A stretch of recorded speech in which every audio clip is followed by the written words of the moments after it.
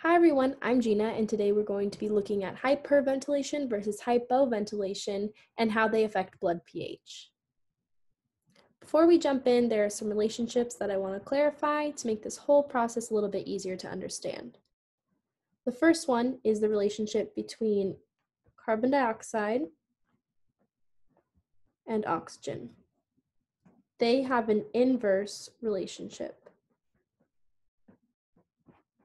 So as one concentration increases, the other decreases and vice versa. Similarly, the relationship between protons and hydroxide is also an inverse relationship. The last relationship that I want to look at is between carbon dioxide and protons. They have a direct relationship. So as one concentration increases, the other increases and vice versa.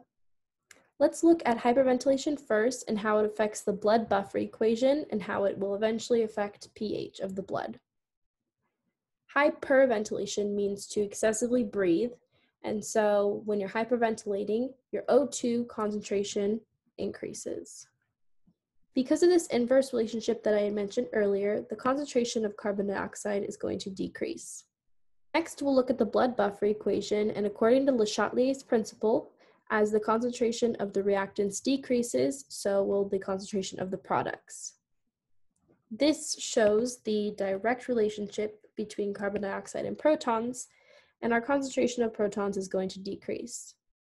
Now looking at this inverse relationship, because we have a low concentration of protons, we must have a high concentration of hydroxide.